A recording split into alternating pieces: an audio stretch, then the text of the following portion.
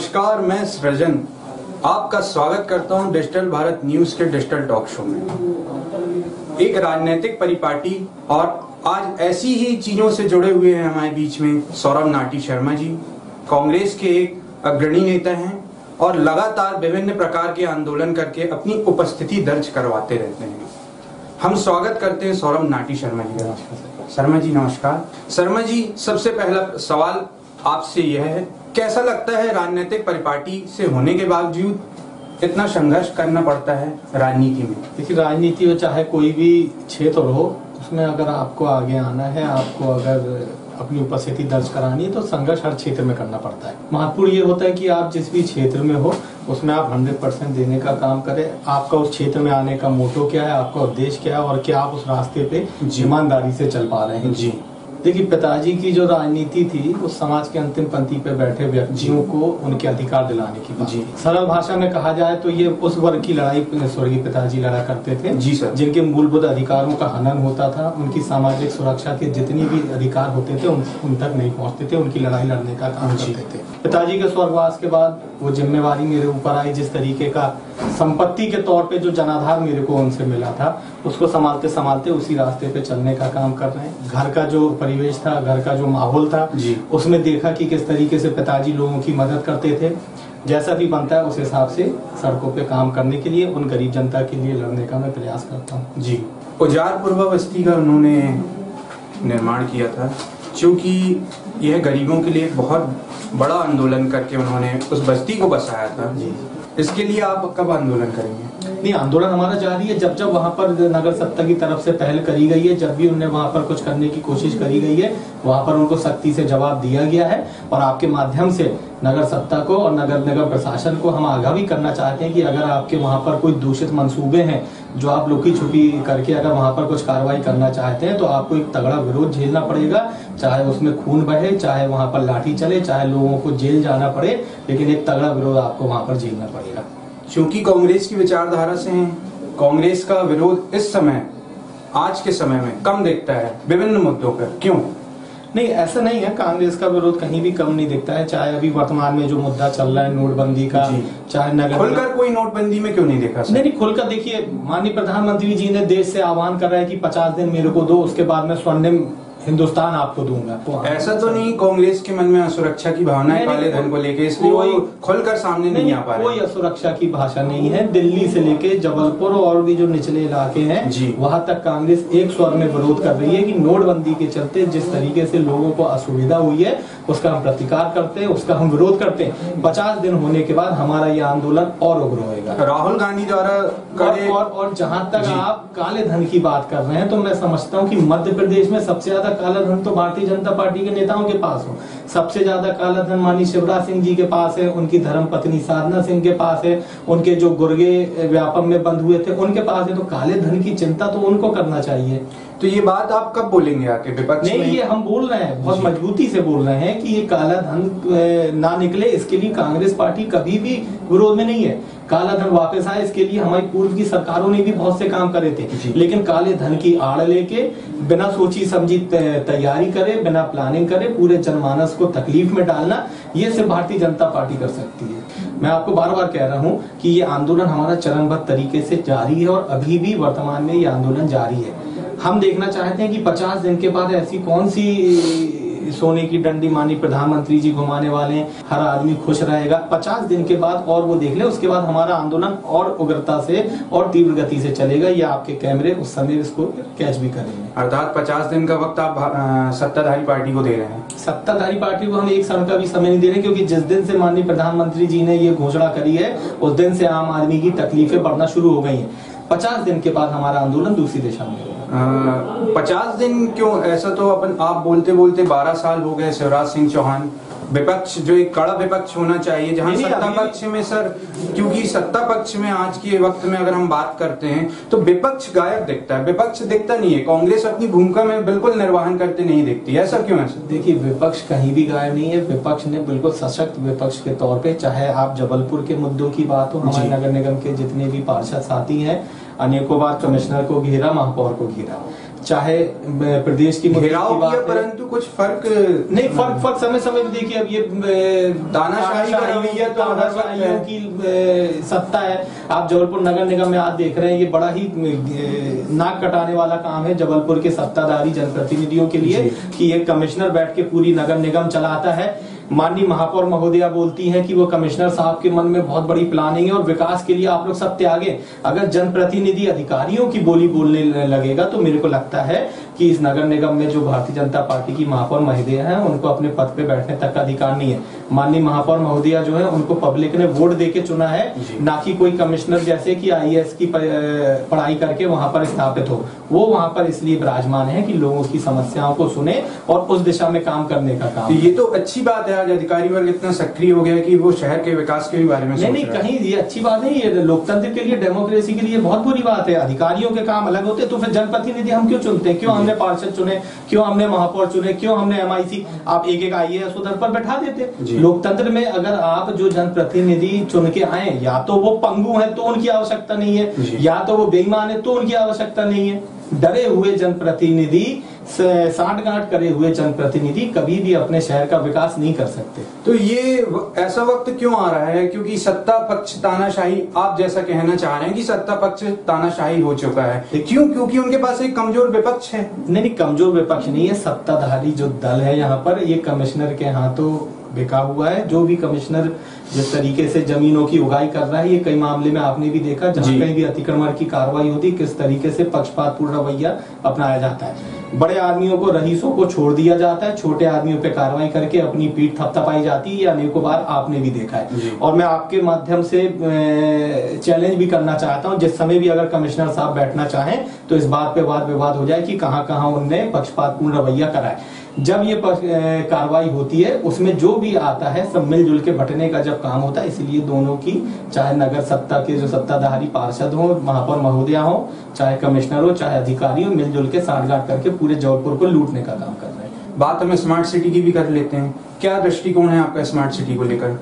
Smart city के का जो एक सब्ज भाग दिखाया जा रहा है उसमें तो सिर्फ़ एक चीज़ स्मार्टनेस समझ में आ रही है जो आजकल माननीय मोदी जी और शिवराज सिंह जी के फ्लैक्स जबलपुर में लग रहे हैं। जी। जहाँ पर उनकी सुबह मैराथन होती है वो फ्लैक्स वहाँ लगा दिए जाते हैं फिर दूसरे वार्ड में होती तो वहाँ पर लगा दिए जाते हैं। स्मार्ट सिटी के नाम पे जो करों की बात करी जा रही है कि जिन जिन वार्डो को आप स्मार्ट बनाने का काम कर रहे हैं वहाँ पर ये टैक्स वहाँ पर पूरे जबलपुर में उस स्मार्ट सिटी के नाम के लिए इतना टैक्स लिया जाएगा। स्मार्ट सिटी के नाम पे Napier town Wright town civil lines Pachpedi जी। ऐसे जगहों को चिन्हित किया जा रहा है जो ऑलरेडी जबलपुर के हिसाब से स्मार्ट है। स्मार्ट सिटी के अंतर्गत काफ़ी प्रोजेक्ट आने वाले हैं जिसमें कांग्रेस के नेताओं द्वारा हमेशा यह बयान दिया जाता है कि ये एक नए घोटाले की तैयारी की जा रही है। आपका क्या कहना है? देखिए कांग्रेस ने हमेशा से जब भी जबलपुर में बीजेपी के द्वारा लूट करी गई है उसको हम लोगों ने मजबूती से उठाया है। भले ही वो उतने मुखर हो के आपको नहीं दिखती हो या दिखती हो बात नहीं जहाँ तक सीवर लाइन का मामला है कांग्रेस ने हर स्तर पे इसको उठाने का काम करा है। दो हज़ार करोड़ रुपए जबलपुर के लिए आया था J N U R M के लिए। सीवर लाइन का एक नौटंकी बहुत सालों से जबलपुर में चल रही थी आज उसकी क्या स्थिति है ये भी आपसे छुपी नहीं है। जब 2000 करोड़ रुपए जबलपुर में गल चुके हैं तो स्मार्ट सिटी का पैसा कहाँ जाएगा ये बात आप खुद सोच सकते हैं। ये जो जो जिस योजना की आप बात कर रहे हैं यह बहुत ही अच्छी योजना थी और यह कांग्रेस के मनमोहन सिंह के कार्यकाल में चलाई गई बिल्कुल चलाई गई थी। वर्ल्ड बैंक से जे एन के माध्यम से बहुत पैसा भी आया था। लेकिन आप खुद देखें वो 2000 करोड़ रुपया जबलपुर में कहीं पर दिख रहा है। अगर ईमानदारी से आधा पैसा भी लग गया होता तो जबलपुर का कायाकल्प हो गया होता। लेकिन ऐसे लोगों के हाथ में नगर सत्ता थी कि जिनने अपने घर बनाए हैं उस पैसे से लेकिन जबलपुर में विकास काम करने का काम नहीं कर रहा है। शिक्षा के क्षेत्र में आपने काफ़ी मुद्दे उठाए हैं। गरीबों के 21 परसेंट एडमिशन कोटे को लेकर मैंने सिविक सेंटर में आपको आंदोलन करते देखा है। काफ़ी मैं तो कह रहा हूँ निन्यानवे पॉइंट नाइन परसेंट शिक्षा संस्थाएँ ऐसी हैं जो इस मापदंड पे खरी नहीं उतरती हैं और ऐसे एडमिशन नहीं कराती। अनेकों बार जहाँ कहीं भी हम लोगों को ऐसी खबर लगती है उस स्कूल में जाके हम लोग वहाँ के मैनेजमेंट से बात करके और लोगों के एडमिशन कराने का काम करते हैं। मगर मैं फिर कह रहा हूँ कि ये जवाबदारी जो सत्ता में पॉलिटिकल पार्टी है हमारे ज़िले के जो अध्यक्ष हैं उनकी पहले बनती है। हम लोग विपक्षी दल हैं। इस वर्ग की मैं लड़ाई लड़ता हूँ इसीलिए हम मेरे पास ये मामले ज़्यादा आते हैं और मैं स्वयं जाके कर करता हूँ। लेकिन अगर इस बात को मुहिम के तौर पे अगर कलेक्टर महोदय करना चाहे महापौर महोदय करना चाहे इस शहर के जो जनप्रतिनिधि हैं अगर वो इसको करना चाहे तो ये कोई बड़ा काम नहीं है। कि इस शहर के जो स्कूल वाले हैं उनकी तानाशाही उनकी मनमानी चल सके। इस कोटे का कैसे वायलेशन करना है इस कोटे से कैसा बचना है ये पूरा स्कूल वालों को ज्ञात है और उस तरीके से वो काम करते हैं। जो गरीबों को जो अधिकार मिलना है वो सिर्फ़ एक कागजों में सीमित रहता है। हम लोग से जितना बन पाता है उतना लड़ झगड़ के हम लोग एडमिशन कराने का काम करते हैं। सर कुछ स्कूल कांग्रेस के नेताओं के भी हैं। सदर स्थित एक स्कूल कांग्रेस के नेता का है।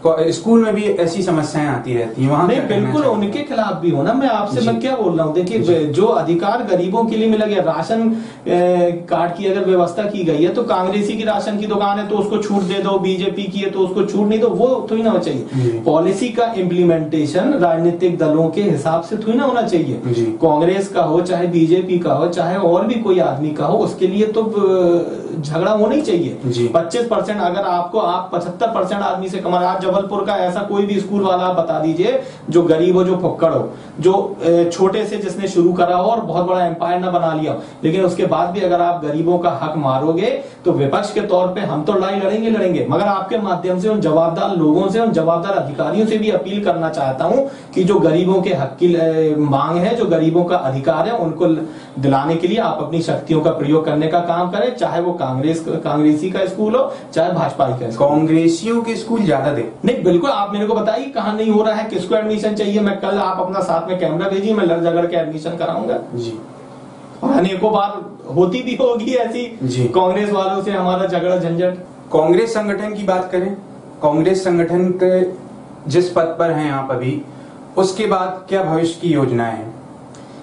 और राजनीतिक भविष्य के बारे में क्या सोचते हैं? देखिए कांग्रेस पार्टी का एक मैं समझता हूँ बड़ा अनुशासित कार्यकर्ता हूँ। जी आप अनुशासित मैं- परंतु संगठन अनुशासित कम दिखता नहीं नहीं नहीं संगठन भी अनुशासित है। जी। मैं अपने आप को ये देखता हूँ कि जब तक जीवन है सार्वजनिक जीवन में ईमानदारी से काम करूँ कांग्रेस पार्टी जो भी दायित्व दे जो भी चीज़ से नवाजे उसको मैं ईमानदारी से करूँ। अगर आप कोई स्वार्थ लेके अगर संकल्प करोगे तो आपका वो संकल्प कभी पूरा नहीं हो सकता है। जी। सिर्फ़ एक उद्देश्य रहे कि जिस क्षेत्र में आपको किस उद्देश्य से आप राजनीति में आए हो उस उद्देश्य के लिए आपको 100 परसेंट देना है। जिस विचारधारा के हो आप उस विचारधारा के दल का आपको झंडा डंडा उठाना है ईमानदारी से काम करना है। पद जो है वो आपके समय काल में आप जैसे जैसे काम करोगे आते जाते हैं। मन में भावनाएँ तो आती होंगी। नहीं, कभी भावना कुछ समकालीन छात्र नेता थे जो आगे बढ़ चुके नहीं हैं। नहीं मेरे को कभी कभी जीवन में कभी हीन भावना नहीं आती क्योंकि मैं समझता हूँ कि जिस उम्र में अभी हूँ मैं पर्याप्त पा चुका हूँ।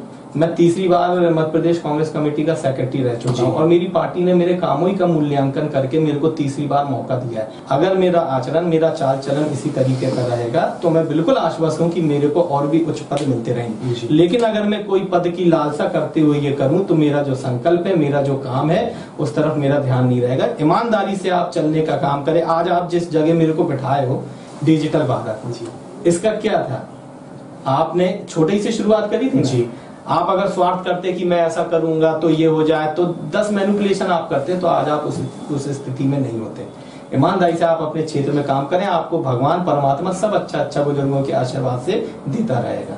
पिछले साल यह बात सामने आई थी कि सौरभ नाटी शर्मा जी महापौर के चुनाव में देख सकते थे। देखिए इच्छा तो थी लेकिन आरक्षण ऐसा हो गया कि महापौर का चुनाव लड़ना असंभव ही था। मन में भावना थी। नहीं भावना देखिए राजनीतिक जो आदमी सार्वजनिक जीवन में है कोई भी चुनाव आता है जो आपके लड़ने की इच्छा होती है तो उसमें प्रतिस्पर्धा करने की कोई बुरी बात नहीं है।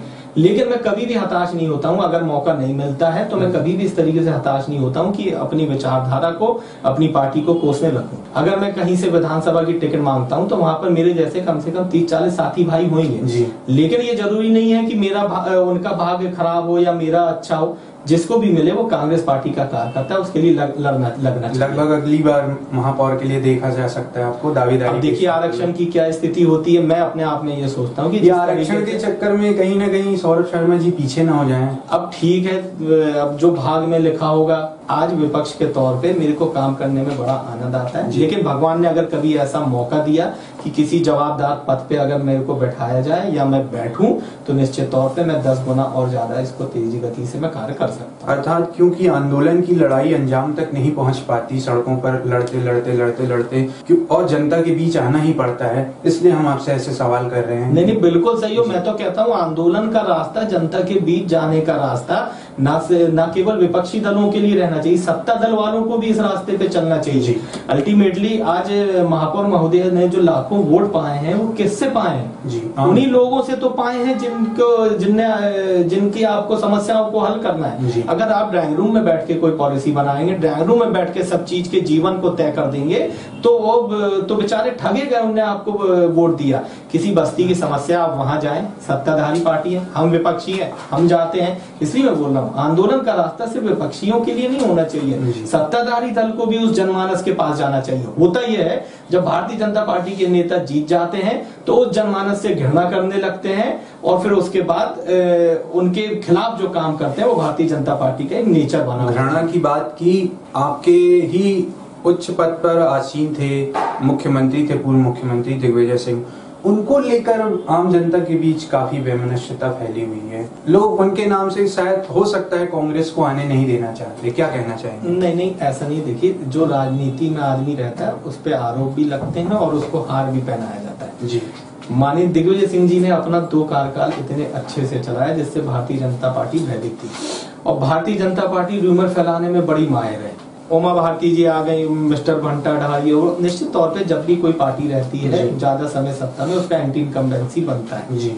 उसी भाजपा का क्यों नहीं बन बन रहा है आप इस बार देखिए 2018 में इतना भयंकर एंटी इनकम्बेंसी बनी ऐसा हमेशा कहा जाता है शेड्यूल उपचुनाव को भी लेके कहा गया था कि कांग्रेस आएगी आएगी लेकिन उसमें भी भारी देखिए शेडोल शेडोल में तो हमारा मैनेजमेंट पुअर हो गया था जिस तरीके से सौरभ जी हर बार मैनेजमेंट नहीं हम मानते आप देखिए शेड्यूल में ढाई लाख वोट से हम हारे थे। और एक ऐसा हमारा कैंडिडेट था ना बेचारी का आगे कोई ना पीछे कोई। उसको ज़्यादा पॉलिटिकल समझ भी नहीं थी। जी। उसके बाद नोटबंदी जो कि इतना बड़ा ऐतिहासिक फैसला हुआ। उस फैसले के बीच में ये चुनाव होता है और मात्र पचास हज़ार से हम हारते हैं। उसके बाद भारतीय जनता पार्टी ने जहाँ पर वो हमारी कैंडिडेट रहती थी वहाँ पर उन्नीस निर्दलीय कैंडिडेट खड़े करे। उनको फाइनेंशियल फीडिंग करी और तकरीबन पौने दो लाख वोट उन निर्दलियों ने ले लिए। हम मान रहे हैं कि इसमें हमारी मैनेजमेंट की चूक हुई है। अगर वो उन्नीस इंडिपेंडेंट नहीं लड़े होते तो तकरीबन एक लाख से ऊपर कांग्रेस की वहाँ पर आम जनता के मध्य अगर आपने कार्य किया है तो फिर इस प्रकार की रूमर्स इस प्रकार की बातें क्यों?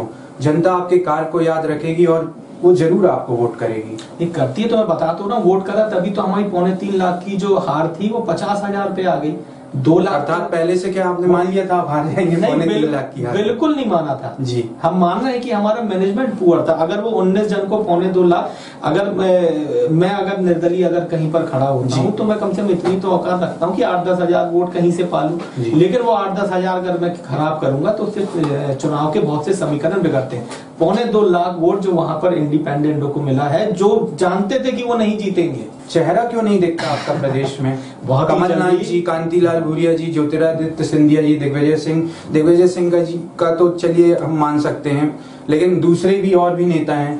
तो ये चेहरा क्यों नहीं देखता है? देखिए दिल्ली आला कमान में इस बात के लिए मंथन भी चल रहा है। आप देखेंगे बहुत ही जल्दी नए साल में कांग्रेस एक नए रूप में इस मध्य प्रदेश में आएगी। किस नेता की क्या जवाबदारी है ये दिल्ली में तय हो रही है।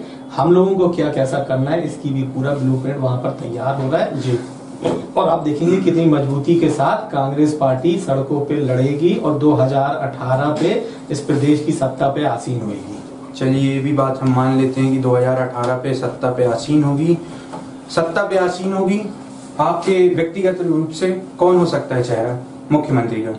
नहीं कांग्रेस पार्टी में वैसे कभी ऐसी परिपाटी नहीं रही है कि मुख्यमंत्री का चेहरा सामने आप कांग्रेस पार्टी की बात मत करिए आप, आप आपकी व्यक्तिगत राय। नहीं मेरे व्यक्तिगत उसमें तो जितने भी हमारे प्रदेश के देश के नेता हैं सब काबिल हैं।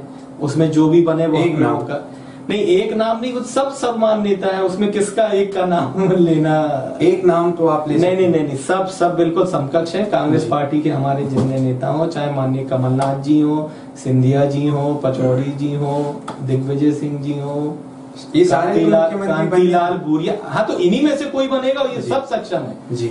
और ये सब हमेशा सार्वजनिक जीवन में रहते हैं लोगों की लड़ाई लड़ते हैं दरबार लगाते हैं लोगों की समस्याओं को हल करने का काम करते हैं। राज्यसभा से आपके नवनिर्वाचित सांसद विवेक तनखा जी अभी चुनकर आए हैं। इतने बड़े आंदोलन हो गए बड़े बड़े आंदोलन आपके संगठन द्वारा किए गए। तनखा जी की अनुपस्थिति क्यों? जिस तरीके से नोटबंदी का मामला हो चाहे कोई भी आंदोलन हो कांग्रेस पार्टी सड़कों पे संघर्ष करती है। लेकिन माननीय तनखा जी को पार्टी आला कमान ने राज्यसभा सदस्य बना के दिल्ली भेजा है। इस नोटबंदी के मामले पे जितना तनखा जी दिल्ली पे लड़ रहे हैं प्रदेश का कोई नेता आपको नहीं देखता होगा।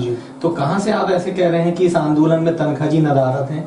तनखा जी को आप संसद के अंदर लड़ते हुए देख लीजिए। संसद के बाहर जो नोटबंदी पे विपक्षियों को इकट्ठे करके सत्ता पक्ष से लड़ने की बात हो वहाँ पर आप तनखा जी को देख लीजिए। आम तनखा की लड़ाई सड़कों से चालू होती सड़कों पे तनखा जी कम नहीं। सड़कों पे तनखा जी क्यों नहीं दिखेंगे? अभी संसद सत्र चल रहा है। तनखा जी जितनी मजबूती से लड़ाई दिल्ली में। नोटबंदी की बात उसके नहीं नहीं हर मामले में अभी जो भी कोई मामला होगा इतना कोई ऐसा मामला होगा जिसमें माननीय तनखा जी की ज़रूरत होगी वो निश्चित तौर पर सड़कों पे दिखेंगे। और तनखा जी के बारे में तो पूरा देश जानता है कि जिस तरीके से पीड़ित मानवता की सेवा के भाव उनके और उनके पूरे परिवार के मन में रहते हैं, वो मैं नहीं समझता किसी राजनेता के मन में रहते हैं। तनखा जी रहते जबलपुर में है, वो कैंप लगाते हैं शहडोल में, वो कैंप लगाते हैं मंडला में, जहाँ से उनको कभी चुनाव नहीं लड़ना है। आप उसी बात से आप समझ लीजिए कि माननीय तनखा जी का गरीबों के प्रति क्या लगाव होगा, गरीबों की सेवा के लिए उनका क्या लगाव होगा। तो वो अगर आंदोलन में आपको यहाँ नहीं दिख रहे हैं और वो शांत बैठे हैं तो ये आपकी बात बिल्कुल झूठी है। आप देख लें कि सबसे ज़्यादा अगर लड़ाई, सबसे ज़्यादा आंदोलन अगर दिल्ली में कोई कर रहा है तो माननीय तनखा जी। आंदोलन सड़कों से चालू होते हैं, आम जनता के साथ साथ चालू होते हैं, आम जनता की लड़ाई के साथ चालू होते हैं। जिस कारण संगठन ने उनको राज्यसभा में सांसद बनाया, आप सही कह रहे हैं कि वो संसद में जाकर लड़ रहे हैं। क्योंकि अभी सत्र चल रहा है, उसके पूर्व कम देखते हैं। नहीं नहीं कम नहीं दिखते। देखिए उनकी अपना एक तरीका है काम करने का। वो जब जबलपुर आते हैं आप जाइए वहाँ पर चुपचाप से आप देखिए कि कितने जनों की वो वहाँ मदद करते हैं। और ये अभी नहीं जब वो सांसद हैं। जब वो सांसद नहीं भी थे कोई को विधेयक ज़रूरत हो कोई को स्वास्थ्य की ज़रूरत हो कोई को शिक्षा की ज़रूरत हो मैंने स्वयं देखा है तनका जी को अपनी जेब से लोगों का इलाज कराते हुए। मैंने खुद देखा है अपनी जेब से लोगों की फ़ीस भरते हुए। तो ऐसा आदमी आप अगर हर किसी को आंदोलनकारी से जोड़ने लगेंगी अगर वो आंदोलन कर रहा है तो वो अच्छा नेता है अगर वो आंदोलन कर रहा है तो वो पब्लिक के बीच है। तो ये उस आदमी के साथ बेईमानी होगी। जितना काम पब्लिक का मानी तनखा जी करते हैं वो भी उस पब्लिक का जिसको आवश्यकता है।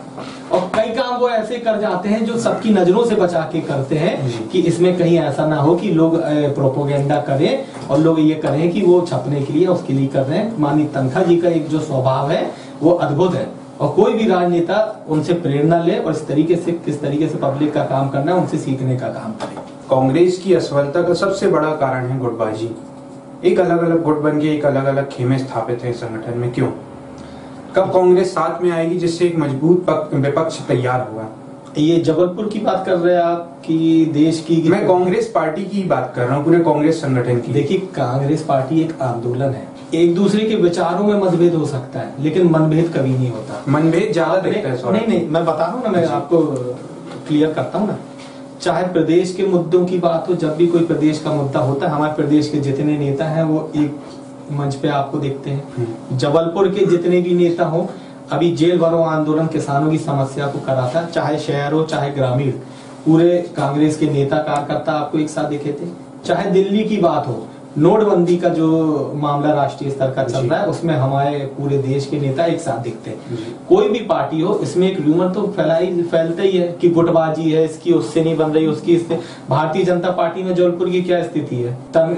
विश्नोई जी की बब्बू से नहीं बन रही जब आदमी दादा थे तो बब्बू की उनसे नहीं मंचों में कई बार ऐसी चीज़ है प्रभात साहू जी की विश्नोई जी से नहीं बन रही। तो मैं तो नाम लेके पूरा आपको गुटबाजी भारतीय जनता पार्टी की यहाँ बता रहा हूँ। अभी एमआईसी में क्या गुटबंदी चल रही है। माननीय महापौर महोदया की जो एमआईसी है वो आधे इधर है आधी इधर है। तो वो तो एक जहाँ ऐसे लोग रहते हैं पब्लिक के काम करने वाले ज़्यादा खुले दिमाग के ज़्यादा अग्रेसिव तो वहाँ छोटी मोटी चीज़ें मतभेद चलते रहते मतभेद इतना ज़्यादा बढ़ गया कि 12 साल में भी आपकी लड़ाई आगे नहीं नहीं लड़ाई लड़ाई कहीं कुछ नहीं है। सब नेता एक साथ हैं। इस बात के लिए संकल्पित हैं कि 2018 में कांग्रेस की सरकार बनानी है और पुनः इस प्रदेश की जनता का जो सम्मान है, इस प्रदेश की जनता का जो स्वाभिमान है, वो कैसे लौटे? इसके लिए कांग्रेस पार्टी 2018 में सरकार बना के उनको पुनः दिलाने का काम करिए जिस तरीके से पूरे देश में एक कलंक के तौर पे मध्य प्रदेश को देखा जा रहा है व्यापम के मामले में कि इधर पर हज़ारों लाखों युवाओं के साथ, उनके जो अधिकारों के साथ हनन हुआ है उस कलंक को मिटाने का दिग्विजय सिंह के कार्यकाल में भी काफ़ी कलंक मध्य प्रदेश को लगे थे। उन कलंकों के बारे में क्या कहना चाहेंगे? नहीं मैं नहीं समझता कि ऐसा कोई कलंक लगा होगा। अगर कोई गरीब आदमी की एक बात बिजली की समस्या उस समय बहुत चलिए ठीक है बिजली पे आ जाइए सड़क पे आ जाइए। जी। आज जिस तरीके से वर्ल्ड बैंक फंडिंग कर रहा है जेएनयूआरएम फंडिंग कर रहा है रा- केंद्र सरकार इतना पैसा दे रही क्या उस समय केंद्र सरकार उतनी सक्षम थी? हमारा जो लोकतंत्र है जैसे जैसे आज़ादी के साल बढ़ रहे हैं वैसे वैसे मैच्योर होता जा रहा है। नगर निगम पंद्रह साल चुनाव नहीं हुए थे अगर आपको जानकारी में हो। जो अर्बन बॉडीज हैं उनको चलाने के लिए राज्य सरकार के पास पैसा नहीं था। जी। जब आपके पास पैसा नहीं होगा तो आप काम कैसे करोगे? जब यूपीए वन यूपीए टू थी इस प्रदेश में भारतीय जनता पार्टी की सरकार थी। माननीय मनमोहन सिंह जी ने एक पैसे की भी कंजूसी नहीं करी। कि मध्य प्रदेश को पैसा न दिया जाए। अनेकों मामले पे केंद्र की सरकार ने भारतीय जनता पार्टी की सरकार को पैसा देने का काम करा। जिस समय दिग्विजय सिंह जी की सरकार थी दिग्विजय सिंह जी ने कहा था कि सात साल आठ साल तक बिजली नहीं दे सकता हूँ और नहीं देने के ये कारण है। जी। आपके पास इतना पैसा नहीं रहता था कि आप सड़क बनवा सके। आज आपको कोई सड़क बनानी है। आज इस प्रदेश की जनता पे ग्यारह हज़ार करोड़ करोड़ रुपया इस प्रदेश की जनता पे उधार है। माननीय मुख्यमंत्री जी पाँच हज़ार करोड़ का कर्जे की एक और अर्जी लगाए हैं। पाँच हज़ार करोड़ और कर्जा दिया जाए। इस प्रदेश के हर एक आदमी पे सोलह हज़ार रुपए का कर्जा है। माननीय मुख्यमंत्री जी जहाँ कहीं भी जाते हैं, जो भी चुनाव होता है, मैं यहाँ ये बना दूँगा, वो बना दूँगा, पूरी घोषणाएँ कर देते हैं। उस घोषणाओं को फिर पूरा करने के लिए कर्जा लेते हैं, उसके बाद भी वो घोषणाएँ पूरी नहीं होती हैं। इस प्रदेश का जो राजकोषीय घाटा है, वो दिन प्रतिदिन बढ़ता जा रहा है। भारतीय जनता पार्टी को चाहिए इस ओर ध्यान देने का काम करे। बात करते हैं शहर के कांग्रेस संगठन की। नगर अध्यक्ष अभी तक डिसाइड नहीं हो पा रहा है निर्धारित नहीं हो पा रहा है। कहाँ डिसाइड नहीं हो रहा? दिनेश यादव जी नगर अध्यक्ष है हमारे लंबा कार्यकाल हो चुका है। वक्त बीच में आया बीच में बात आई थी कोई नया नगर अध्यक्ष बहुत जल्दी निर्धारित किया जाएगा परंतु अभी तक नहीं हो पा रहा है। देखिए उसमें हमारे बड़े नेता लोग बहुत गंभीर चिंतन कर रहे हैं। ये किस प्रकार का चिंतन है? नहीं नहीं देखिए लंबा वक्त निकल गया। देखिए मैं आपको बता रहा हूँ कांग्रेस पार्टी एक बहुत बड़ा परिवार है। भारतीय भारतीय जनता पार्टी उसके पाँव की धूल तक नहीं है। जी। किस आदमी को कहा किस कार्यकर्ता की कहाँ आवश्यकता है उस पर चिंतन चल रहा है। और आप देखेंगे जब भी परिवर्तन होगा तो होगा उसमें अभी वर्तमान में जो हमारे नगर के अध्यक्ष हैं काफ़ी अच्छे वो काम कर रहे हैं। चाहे आपने देखा हो अट्ठाईस तारीख का कार्यक्रम हो उसके पहले व्यापम के जितने भी आंदोलन हुए हैं उसमें बड़े अच्छे से माननीय नगर अध्यक्ष महोदय जी की भूमिका बड़ी सकारात्मक रही है। और जब परिवर्तन होगा जो बड़े नेता है वो सब करेंगे। चुनाव लड़ा था आपके पिताजी ने। एवं उजाल पूर्व बस्ती उत्तर मध्य विधानसभा में थी उस समय। तो ऐसे काफ़ी सामाजिक कार्य उन्होंने किए हैं और एक बार चुनाव भी लड़ चुके हैं। तो सौरभ नाटी शर्मा जी कब चुनाव के मैदान में दिखेंगे? देखिए अगर भगवान ने चाहा बुज़ुर्गों का आशीर्वाद रहा तो 2018 में मैं चुनाव लड़ने का इच्छुक हूँ। जी। अगर मेरी पार्टी मेरे को टिकट देती है तो निसंदेह 2018 में मैं चुनाव लड़ूँगा। किस विधानसभा से? उत्तर मत से जी। मेरा। लेकिन एक बार फिर मैं कह रहा हूँ चुनाव समय समय पे आते हैं, हर पाँच साल में आते हैं। जो भी राजनीति करने वाला आदमी, सार्वजनिक जीवन में रहने वाला आदमी होता है, उसका अधिकार होता है कि वो चुनाव में हिस्सा लेने की कोशिश करे। लेकिन अगर मेरे को मौका नहीं भी मिलेगा तो भी इस पार्टी की ईमानदारी से सेवा करूँगा। कांग्रेस पार्टी जिसको भी टिकट देगी, प्रयास ये रहेगा कि वहाँ से कांग्रेस पार्टी का विधायक जीते और इस प्रदेश में कांग्रेस पार्टी की सरकार बनने का काम उत्तर मध्य विधानसभा की बात कर रहे हैं बहुत सारी समस्याएँ हैं। और इस क्षेत्र के विधायक हमारे माननीय स्वास्थ्य मंत्री शरद जैन जी आपको क्या समस्याएँ दिखती हैं? देखिए, सबसे बड़ी समस्याएँ ये है कि उत्तर मध्य में बहुत सी एरियो पे बस्तियाँ हैं, जहाँ पर गरीब व्यक्ति वास करता है। गरीब व्यक्ति की मूलभूत सुविधाएँ की जो बात होती है, उसको पानी मिले, उसकी बस्ती में सफ़ाई रहे, उसको पट्टा मिले, उसको राशन मिले। माननीय मंत्री जी जो हैं ये उनका सौभाग्य बोल रहे भगवान की परमात्मा की कृपा बोल रहे कि वो उनको तीसरी बार मौका मिल गया। जी।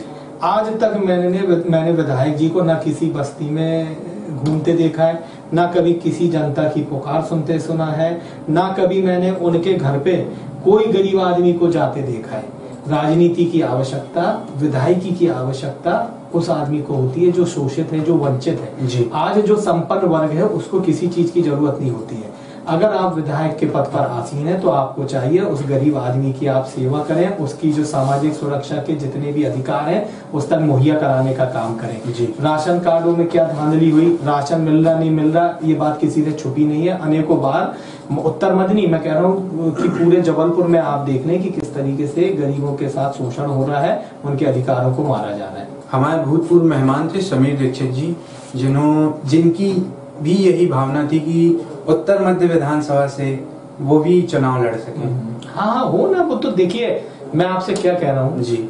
इस शरद जैन जी का भाग है कि वो तीसरे बार से विधायक हैं। जी। समीर भाई का भाग हो मेरा हो और भी हमारे और काफ़ी नाम है। काफ़ी नाम है ना। राजनीति करने वाले समीर भाई भी पार्टी का काम करते हैं लोगों के काम करते हैं। जिसका भाव होगा वो सब प्रतिस्पर्धा में शामिल हो। लेकिन सब एक मनसा से उस प्रतिस्पर्धा में शामिल हो कि जिसको भी टिकट मिले उसके लिए समूची कांग्रेस लगे।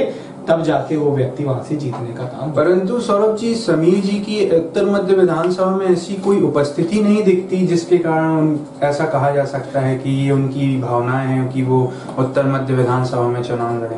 अब आप अभी मेरे को बीजेपी से क्रॉस क्वेश्चनिंग करा रहे थे मेरी पार्टी के मेरी साथी से करा रहे थे कि समीर भाई हमारे साथी भाई हैं हमारे जैसे ही काम करने वाले हैं। और उत्तर मध्य क्या जबलपुर हमारा है कितना बड़ा? जी। आप चाहे उत्तर हो पूर्व हो पश्चिम हो कैंट हो ये जबलपुर हमारा है कितना बड़ा? जी। कोई भी आदमी कहीं से भी दावेदारी कर सकता है। लोकतंत्र क्या यही तो लोकतंत्र की खूबसूरती है। जी। आप उसको बाँध के कोई आदमी मैं उत्तर मध्य में रहता हूँ लेकिन आप मानव ईमानदारी से मैं सिवनी तक जाके आंदोलन कर रहा हूँ बालाघाट तक जाके आंदोलन कर रहा जी। हूँ तो ये तो ना कि मेरे को वहाँ से चुनाव लड़ना है इसलिए मैं वहाँ जाके आंदोलन कई बार ये स्थिति होती है कि मैं पूर्व क्षेत्र में जाके कुछ मामलों में आंदोलन करता हूँ। तो मेरे को पूर्व क्षेत्र से कोई चुनाव लड़ना है क्या? जी। लेकिन नेता वही होता है जो फैल के काम करे जहाँ पर उसकी आवश्यकता हो वहाँ पर तसरस होके और मजबूती के साथ वो खड़े होके आम लोगों की लड़ाई लड़े नेता वो होता है। लेकिन चुनाव उसको एक ही जगह से लड़ने का मौका मिलता है मिल सकता है तो इसीलिए वो वहाँ से दावेदारी करे लेकिन खुल के पब्लिक का काम करे। सबसे यादगार आंदोलन आपका और सफल आंदोलन? दूध मूल वृद्धि के खिलाफ दूध मूल्य वृद्धि। हाँ। अब फिर मैं आपसे इस बारे में कुछ बोलूँगा तो आप बोलेंगे नहीं, आप इसमें मैंने क्रॉस क्वेश्चनिंग की नहीं, है सोनू बचवानी जी हाँ। जो आ चुके हैं हमारे शो में युवा मोर्चा के नगर अध्यक्ष हैं हाँ। उनका कहना है कि दूध माफियाओं को खत्म करने का काम उनके द्वारा किया गया है। इसके पहले जब मैंने दूध मूल्य वृद्धि के खिलाफ आंदोलन किया था 2011 जी। हरिरंजन राव कलेक्टर थे। आदरणीय ईश्वर दास रुहानी जी उस समय जीवित थे। पचपन दिन का आमरण अनशन कलेक्ट्रेट गेट के सामने करा था। उसी आंदोलन के बाद से धारा 144 कलेक्ट्रेट में लगी है। भारतीय जनता पार्टी का ऐसा कोई नेता नहीं हो जिसके पास मैं गया ना हूँ कि आप आए। ये दूध माफिया बेलगाम हो गए हैं और आपका जो व्यापारी संघ का अध्यक्ष है वही दूध माफियों का अध्यक्ष है। तो उनसे बात चाहे राकेश सिंह जी हो चाहे जो भी वहाँ पर उस समय नेता हो उन सबकी सांठगांठ के चलते क्योंकि जौनपुर में छह लाख लीटर दूध उस समय होता था। दो रुपए अगर बढ़ते हैं तो प्रतिदिन बारह लाख रुपए की उसमें उगाई होती थी। उस आंदोलन को मजबूती से किया गया। जबलपुर बंद हुआ और उस जबलपुर बंद की गूंज पूरे मध्य प्रदेश में सुनाई थी। उस समय थोड़ा पचास पैसे एक रुपए उन्होंने कम करा। अभी जब पुनः दूध वालों ने अपने पर फैलाने चालू करे तो मैं एक पहला आदमी था जिसने दूध डेयरी में जाके धावा बोल के और पचास रुपए बिकवाने का काम करा। मान सोनू बचवानी जी से मेरी बात हुई। मैंने उनसे बोला कि ये कांग्रेस और बीजेपी का आंदोलन नहीं ये आम जनता का आंदोलन है। भले ही आपके बड़े नेता दूध माफियों से उनकी जो भी साठ गांठ हो मगर एक नेता के नाते एक युवा होने के नाते आपका भी फ़र्ज़ बनता है। पर तो सोनू बचवानी की ही तो पार्टी थी वो अपनी पार्टी नहीं मैं अब उनकी पार्टी से मैं आपको बता रहा हूँ आप मेरे को दो मिनट पूरी बात सुन लें। हर रोज चार चार डेयरियों में दबज दी और खड़े होके पचास रुपए लीटर दूध बिचवाया सोनू भाई से बात हुई मैंने कहा सोनू भाई आपको भी चाहिए कि आप भी जाके डेयरियों में दस्तक दें। आप पेपर कटिंग उठा के देख लीजिए कि इसको इसकी शुरुआत कांग्रेस ने करी कि भाजपा ने करी। जी। सोनू भाई ने ये काम करा मैं उनको धन्यवाद देता हूँ। हमारे साथ वो हमारे आंदोलन का हिस्सा बने लेकिन उनकी एक जवाबदारी और बनती है आप सत्ता में हो। आप चाहो तो कान मरोड़ के पब्लिक के हित में कोई भी निर्णय ले सकते हो। आपको ये प्रोपोगेंडा करने की आपको ये करने की आवश्यकता नहीं है। अगर कांग्रेस पार्टी सत्ता पे होती तो सौरभ शर्मा आंदोलन नहीं करता। सौरभ शर्मा स्वास्थ्य मंत्री को पकड़ लेता कि भाई साहब ये वही जनता है जिसने हमको चुन के भेजा है। जी, जी। ये उसी गरीब जनता के बच्चे हैं जिनको दूध नहीं मिल रहा है। इनके लिए काम करने का काम कर जी। आने वाले समय में किन मुद्दों को लेकर आंदोलन करते देखेंगे सौरभ जी? जबलपुर के गरीब जनता के सामाजिक सुरक्षा के अधिकारों के लिए बहुत बड़ा आंदोलन की मैं तैयारी कर रहा हूँ। जी। जबलपुर के जितने भी जनप्रतिनिधि हैं वो ये बात सुन लें। जबलपुर ज़िले के जितने भी अधिकारी हैं वो ये बात सुन लें कि अगर गरीबों के अधिकार पे हनन होएगा तो उनको एक बहुत तगड़ा जवाब दिया जाएगा। बहुत ही जल्दी आप देखेंगे हम लोगों ने एक बार गरीब अधिकार आंदोलन भी करा था जिसके तहत सोलह हज़ार गरीब जन ने। गिरफ्तारियाँ दी थी उसके बाद लोगों के राशन कार्ड भी बनना शुरू हुए थे। मगर जिला प्रशासन फिर से इसमें ढीला ढाली कर रहा है हीला हवाली कर रहा है। अगर आप चाहें तो उसमें सचेत होके फिर से पुनः गरीबों के काम करना शुरू कर दें नहीं तो आगे बहुत बड़े आंदोलन के लिए आप तैयार हैं। सौरभ जी जाते जाते हमारे दर्शकों को क्या संदेश देना चाहेंगे? देखिए, आपके दर्शकों को तो मैं ये संदेश देना चाहूँगा कि जिस तरीके से डिजिटल भारत ने ग्रोथ करी है, वैसे ही जितने भी लोग जिस भी क्षेत्र में हो, ईमानदारी से काम करने का काम करें। जबलपुर के जनप्रतिनिधि ईमानदारी से जो उनका कर्तव्य है, जिस जनता ने आपको चुना है, उसके लिए काम करने का काम करें।